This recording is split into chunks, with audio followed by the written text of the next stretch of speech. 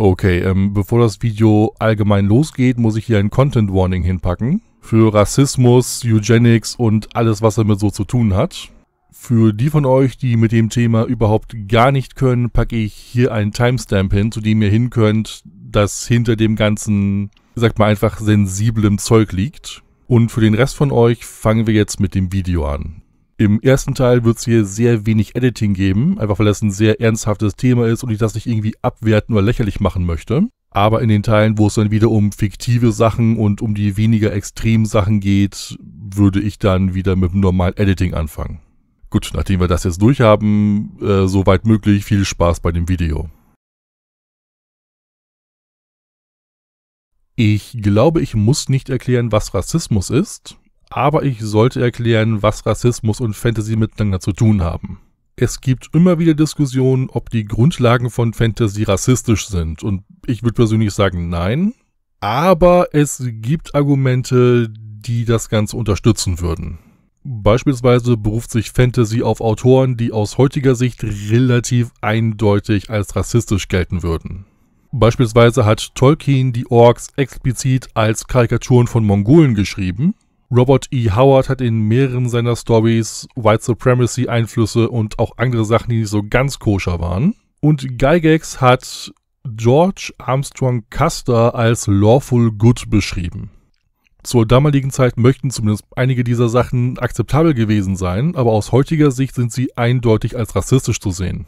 Und dazu kommt das Problem, dass laut Tolkien in Mittelerde Rasse nicht ein soziales Konstrukt ist, sondern ein Fakt. Das heißt, Elfen sind objektiv besser als Orks zum Beispiel.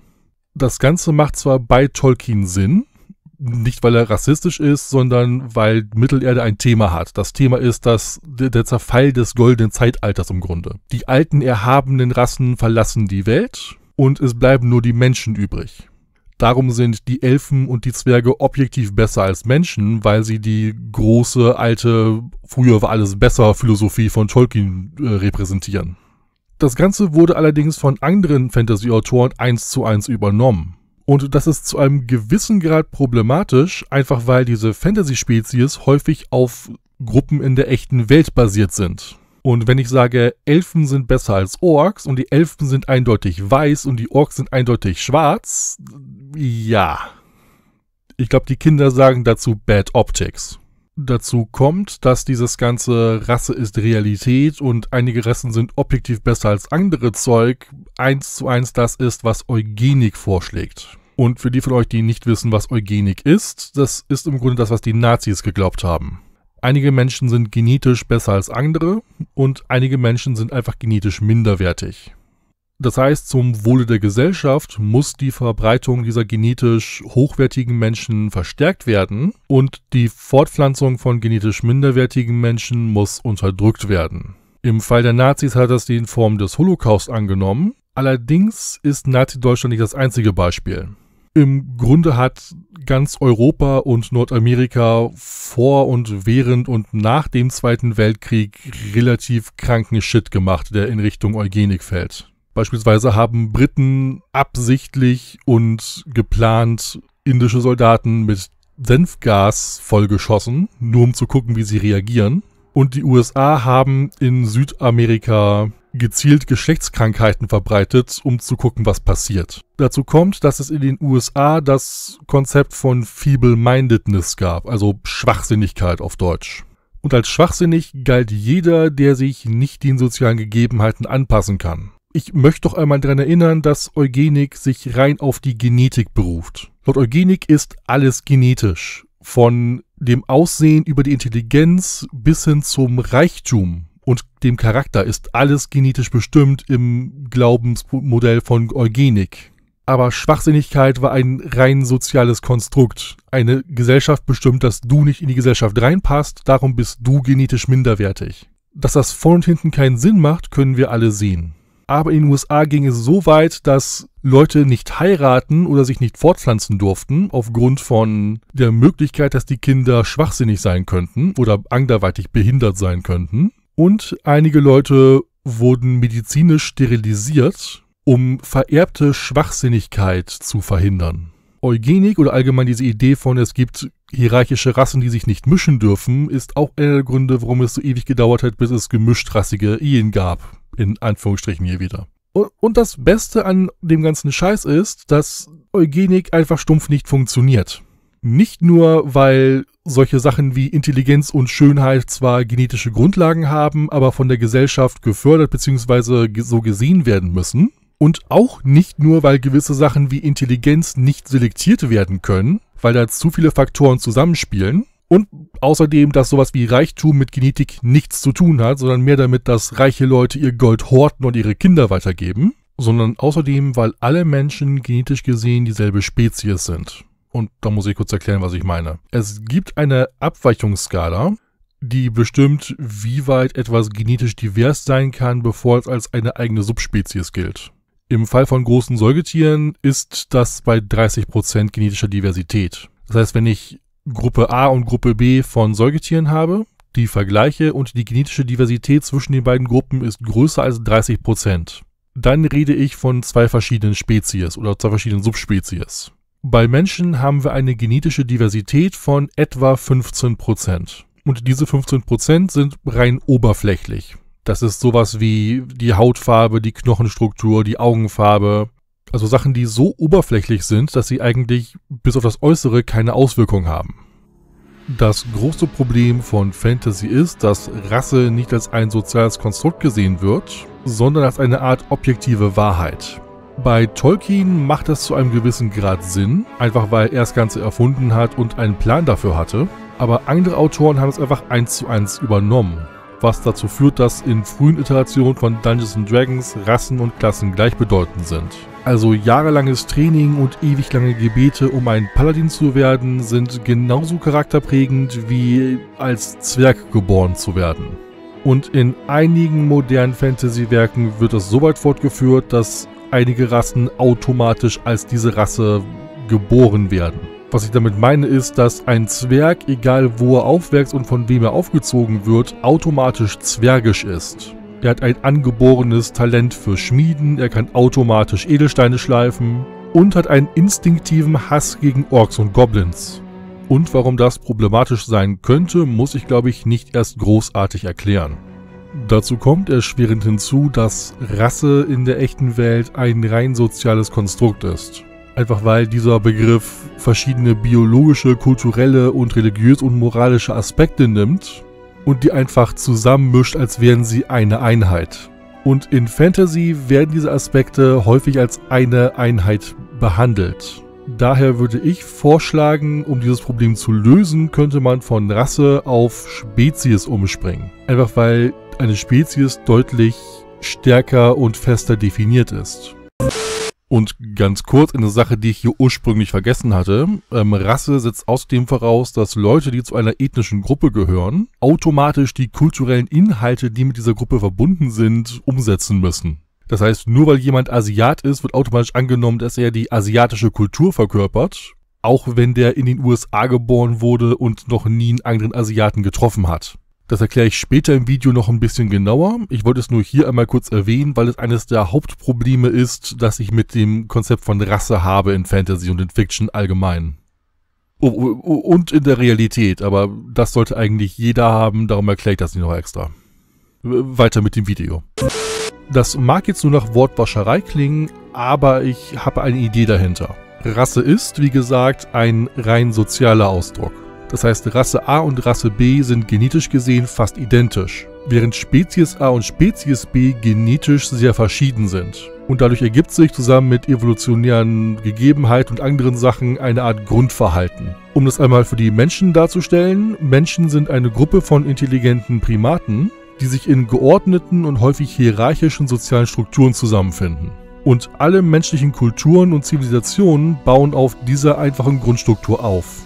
Das heißt, wenn wir jetzt aus den Fantasy-Rassen die Fantasy-Spezies machen, ergeben sich für uns mehrere Möglichkeiten. Zum einen können wir die angeborenen Verhaltensweisen der Fantasy-Spezies ein bisschen runterdrehen, so dass sie nicht so extrem spezifisch sind, sondern eine allgemeine, etwas vagere Richtung vorgeben. Und daraus resultierend können wir viele verschiedene Kulturen pro Spezies aufbauen, die aus dieser Grundhaltung resultieren würden. Und damit ihr euch von dem, was ich hier gerade erzähle, ein etwas besseres Bild machen könnt, habe ich ein kleines Beispiel vorbereitet. Elefantenherden bestehen ausschließlich aus Weibchen und männlichen Jungtieren. Was daran liegt, dass männliche Elefanten mit Erreichen der Geschlechtsreife relativ aggressiv werden, weil ihr Gehirn mit Testosteron überstimuliert wird. Das heißt, das Grundverhalten von Elefanten wäre, dass es eine Sozialstruktur gibt, die nur aus Frauen und Kindern besteht, während die Männer nur während der Fortpflanzung und ihrer Jugend Teil dieser Gesellschaft sind und ansonsten von der Gesellschaft ausgestoßen werden. Das heißt, wenn wir das Ganze auf intelligente Spezies beziehen würden, hätten wir eine klare Unterscheidung zwischen Frauen und Männern. Die Frauen wären dabei im Grunde alles, was in der Gesellschaft stattfindet während Männer höchstwahrscheinlich einfach nur als Söldner oder als wandernde Krieger sich verdingen würden. Eben weil sie gezwungen sind, unabhängig von der Gesellschaft zu überleben. Und eben weil die Männer relativ aggressiv sind, wäre es wahrscheinlich, dass die Gesellschaft, um dieses Verhalten nicht anzuregen, relativ pazifistisch wäre. Das heißt, wenn es Krieger in dieser Gesellschaft gibt, sind sie höchstwahrscheinlich zur Verteidigung gedacht, also im Grunde eher Wachen als Soldaten. Und ansonsten ist es wahrscheinlich, dass man mehr auf Kultur aus wäre, also auf Sachen, die nicht viel mit Krieg zu tun haben, sondern mehr Kunst, Etikette, Schönheit und all solche Sachen. Außerdem ist es wahrscheinlich, dass wenn andere Spezies in diese Kultur eingenommen werden, sie nicht nach ihrem tatsächlichen Geschlecht beurteilt werden würden, einfach weil dieses Grundverhalten in anderen Spezies so nicht unbedingt zu finden ist, sondern aufgrund ihres Verhaltens eingeteilt würden. Das heißt, eine aggressive Elfenkriegerin würde als Mann gesehen werden, während ein eher pazifistischer zwergischer Runenmagier als Frau gesehen werden würde. Einfach weil diese Aufteilung der Geschlechter die Grundlage der Gesellschaft ist. Und ich glaube, das ist der Punkt, wo wir mit dem Beispiel aufhören können, weil ich glaube klar sein dürfte, was genau ich damit meine. Dadurch, dass wir jeder Spezies ein Grundverhalten geben, hat diese Spezies zwar einen eigenen Charakter, aber dieser Charakter ist vage genug, dass man verschiedene Ausartungen davon erschaffen kann, also verschiedene Kulturen, die auf dieser Spezies aufbauen. Und diese Kulturen sind offen genug, dass andere Spezies mit einbezogen werden können. Dadurch beugen wir einem Problem vor, das ich den mysteriösen Chinamann nenne. Für die von euch, die gerade nicht wissen, was ich meine, wenn ihr in den 90ern Fernsehen geguckt habt und ein mysteriös aussehender Chinese oder allgemein Asiate aufgetaucht ist, war es zu 90% sicher, dass er irgendeine Art von Kung Fu oder von östlicher Magie hat. Egal ob es zum Charakter passt oder nicht. Das heißt, wir haben hier wieder diese normale Fantasy- oder Rollenspiellogik. Wenn mein Charakter Asiat ist, kann er automatisch Chinesisch sprechen, beherrscht Kung Fu und ist höchstwahrscheinlich ein taoistischer Magier. Auch wenn sein Name Joe Wong ist und er in New York aufgewachsen ist und von Beruf Truckerfahrer ist. Er ist Asiat, darum hat er automatisch die asiatische Kultur. Und durch diese Aufteilung von Rasse in Spezies plus Kultur können wir dem vorbeugen.